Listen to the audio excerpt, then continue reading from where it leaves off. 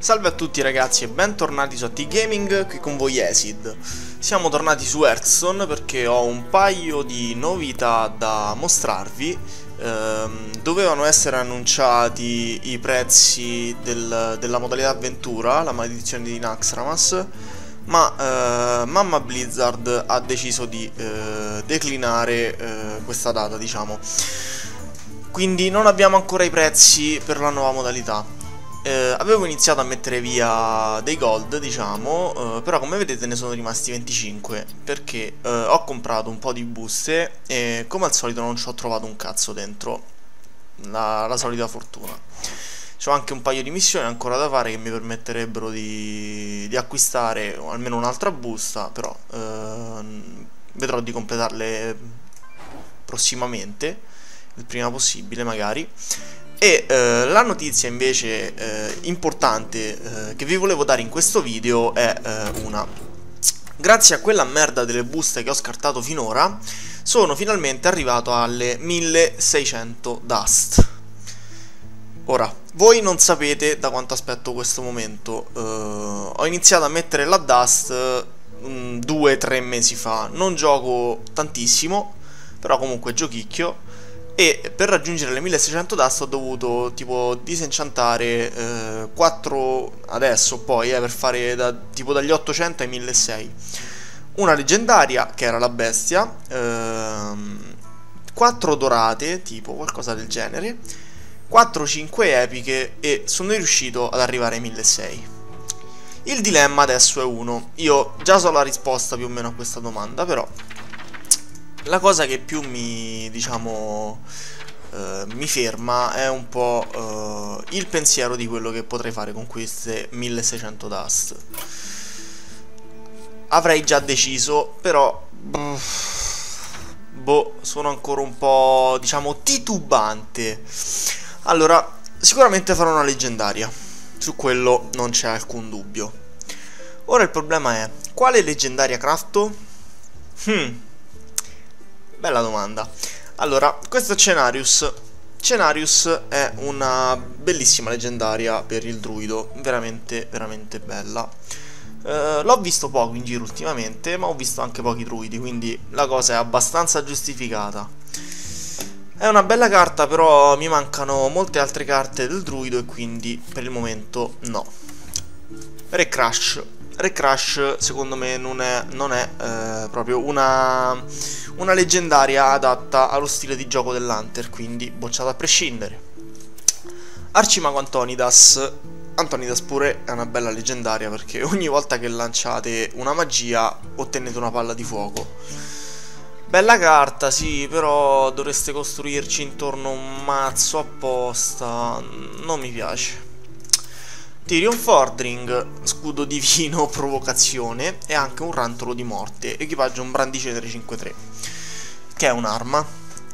Tyrion è una bella carta, però eh, volevo giocare un paladin un pochino più aggro, quindi no Tyrion, ci vediamo alla prossima. Profeta Velen è una delle peggiori eh, leggendarie secondo me al momento, raddoppia i danni nelle cure delle tue magie, sì, è efficace in certi casi però niente di, di, spettacolare, insomma, poi prete praticamente fuorissimo dal meta, a parte Amaz che ci si sfonda. Alakir per lo sciamano è una bella carta, vedete costa 8 mana e un 3-5, però guardate quello che c'ha, Furia del Vento, quindi sono 6 danni. Carica, attacca subito, scudo divino, quindi neanche crepa, e provocazione. È una leggendaria abbastanza completa, Uh, però uh, anche qui serve un po' di giocare parecchio shaman non, non mi piace più di tanto no. Jarraxus Jarraxus per lo stregone eh, per lo stregone control diciamo warlock control endlock si gioca solo così eh, con i gigantoni. È una bella carta perché indubbiamente vi dà 15 di salute magari state per crepare Jarraxus e poi comunque c'ha potere eroe e il resto che è veramente sgravo però non voglio giocare assolutamente un Warlock Control al momento perché mi mancano tutti, tutti i giganti Gar eh, Grommash, scusate. Eh, Grommash è una bellissima leggendaria per eh, il guerriero, se non fosse che per giocare un guerriero avete bisogno di altre 15 leggendarie, bocciato a prescindere. Andiamo adesso sulle leggendarie neutre. Allora, qui ne vedete alcune. Vedete che ho Ragnaros, Onyxia l'avevo già disincantata parecchio tempo fa, niente. Nozdormu assolutamente inutile, perché eh, accorcia il tempo del turno a 15 secondi. Veramente uno spreco. Maligos uh, ultimamente sta andando di moda per il uh, Miracle, Miracle Rogue. Non ho un Miracle Rogue da montare, quindi Maligos no. Alex è sempre Handlock, diciamo, Control Warrior, altre 20 leggendarie, no. Gruul bruttissima, neanche la commento. Barone Geddon, due danni a tutti i personaggi alla fine del turno, ci sta però boh, è un'altra di quella del Control Warrior che servono in 85. Poi ci sono le leggendarie più piccole, allora andiamo, bocca larga, uh, leggendaria carina perché ti dà un gnoll 2-2 con provocazione ogni fine turno, però niente di speciale. Illidan non lo crafterei mai. È bella l'animazione, eh? È bella però no.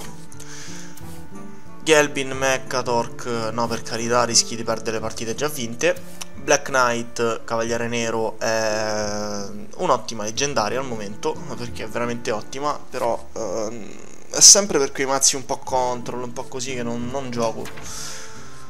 Vado per, per il brainless io.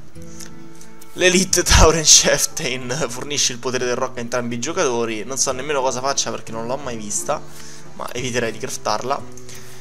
Capitano Pelle Verde è buono in alcuni mazzi, però no, per carità. Uh, continuiamo a scalare. Eh, aspetta, vi mostro prima. Saltiamo volutamente eh, il 4 mana. Allora, ehm, perché non trovo Talnos? È un 2 Talnos. Ah vabbè, Milaus eh, Nel turno successivo le magie dell'avversario costano 0 mana No. Natpagol l'avevo già disincantato dopo il nerf. Talnos Talnos è un'ottima eh, leggendaria invece eh, Per i vedete, i danni magici E poi vi fa pescare anche una carta 2 mana Ottima.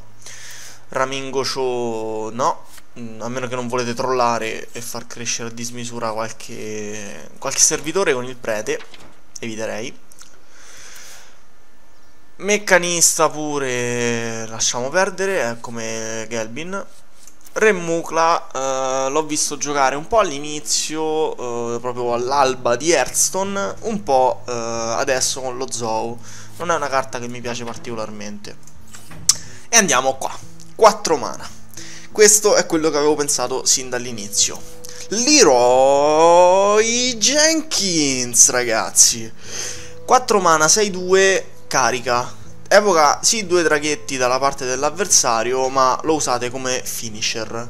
È la leggendaria, credo, per la quale ho perso più partite da quando gioco Hearthstone. Rimanete anche con un 10 eh, di vita, non lo so, Leroy Faceless sono 12 danni, oppure Leroy Power Overwhelming dello, del Warlock sono 10 danni. Ci sono una massa di combo assurde che potete fare con questa carta è portarvi a casa un match praticamente perso. Quindi, il momento che tutti aspettavamo, un 3, 2, 1...